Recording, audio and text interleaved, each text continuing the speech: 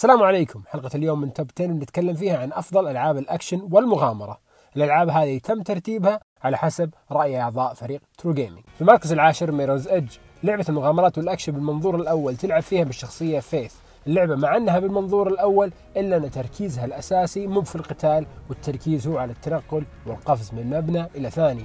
وتتخلص من الأعداء عن طريق ضربهم بشكل سريع أو تتجنبهم تماما بحركات باركور اللعبة نجحت بشكل رهيب في عكس حركات الباركور وخلت إحساس التنقل في عالمها الكبير مرة ممتع وميزتها أنها توضح لك الطرق اللي تقدر تسلكها عن طريق تضليل هذه الطرق باللون الأحمر. في المركز التاسع BioShock سلسلة BioShock مرت في مراحل مختلفة لكن الجزء الأول من اللعبة حتى الآن هو الأفضل. بعد حادث طيران شخصيتك تحصل نفسها في مدينة تحت البحر اسمها Rapture المدينة هذه مليانة أسرار وأشياء عجيبة تخليك تتعمق أكثر وأكثر فيها حتى تتعرف على الشخص اللي بناها ودوافعه ووش وضع المخلوقات الغريبة فيها. اللعبة بالمنظور الأول وعندك قدرات مختلفة تقدر تطورها. تتحصل ألغاز ممتعة ومواجهات قدام زعماء حماسية إذا فاتتك فهي واحدة من أكثر ألعاب الأكشن غموض. في المركز الثامن فار كراي 3 هذه السلسلة العريقة دائما تعطيك حرية ما لها مثيل. في الجزء الثالث رمتك في جزيرة وعندك شرير مجنون يهبل فيك القتال فيها ممكن يكون من أفضل الأشياء لأنها تعطيك أسلحة مختلفة وتقول لك هاجم المناطق اللي قدامك بالشكل اللي تبي. تبي تدخل برشاش وتنتفهم واحد ورا الثاني ولا تجي بهدوء وتخفي وتقتلهم ولا تخش بسيارة وتحوس. الحرية هذه خلت السلسلة مرة مشهورة ومحبوبة عند الكثير. هذا غير عوامل القصة اللي تخليك تتحمس في التقدم بالقصة وتتخلص من الشخصية الملحوسة اللي تهبل فيك داخل اللعبة. في المركز السابع Shadow of the Tomb Raider. هذه السلسلة العريقة وضعت أسس الألعاب المغامرة والأكشن مع جزءها الأخير ودتك للمكسيك وراح تشوف فيها مناظر جميلة ولحظات أكشن تخليك على الأعصاب. مثل قتالك ضد الفهد أو في محاولتك في الهروب من آثار جالسة تتدمر. هذا غير الألغاز البسيطة اللي تضيف تنويع ممتاز لرتم اللعبة. كل هذه العوامل من لحظات قتال ضد الأعداء مع عناصر تخفي مثل تغطية جسمك بالطين حتى ما حد ينتبه لك صنعت لنا واحدة من أفضل تجارب سلسلة Tomb Raider.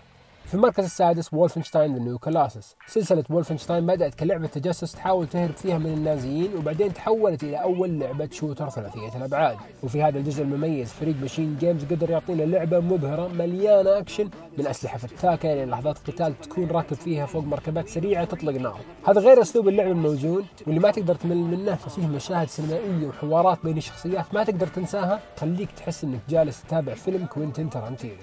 في المركز الخامس Shadow of the Colossus أحد من أفضل ألعاب سوني الحصرية اللي تبدأ بداية مبهمة ولا راح تفهم شيء إلا إنك لازم تنقذ شخص عزيز عليك وحتى تنقذه لازم تتخلص من عدد معين من العمالقة ومن هنا تبدأ رحلتك. بس حدد سيفك على الشمس وبيطلع لك شعاع يوضح لك الطريق إلى أقرب عملاق حولك.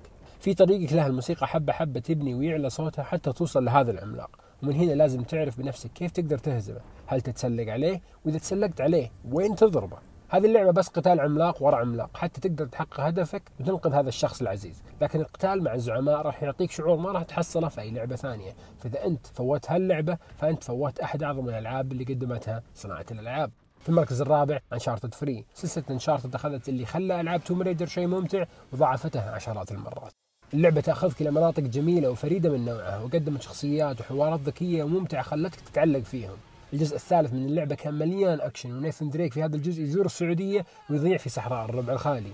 هذا الجزء في أنه قدم لحظات أكشن وتجسس وتنويع شامل من الألغاز اللي خلانا نشوفها الأفضل من بين كل أجزاء السلسلة الأساسية. في المركز الثالث Marvel Spider-Man مهما كثرت ألعاب الأكشن ما نقدر ننكر قد إيش كانت لعبة سبايدر مان الأخيرة مبهرة لأنها مبهرة رسوميا ونقلت مدينة نيويورك بأغلب تفاصيلها.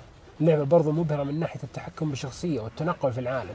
فريق Insomniac أبدع وخلى الحركة في اللعبة شيء ما ينمل منه ابدا. لدرجة هي أول لعبة توفر خيار التنقل السريع ولا قد استعملتها ابدا لأنه بس أبغى أتعلق من بين مبنى للثاني وأتمشى داخل المدينة. في المركز الثاني Monster Hunter World سلسلة Monster Hunter أخذت شوط مرة طويل حتى توصل للمرحلة اللي هي عليه حاليا لكن من ناحية الأكشن والمغامرة فهي مميزة.